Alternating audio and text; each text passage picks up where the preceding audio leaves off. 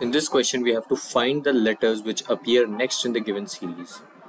So in the series, we can what we can say is that first there is an decrement, then an increment, then a decrement.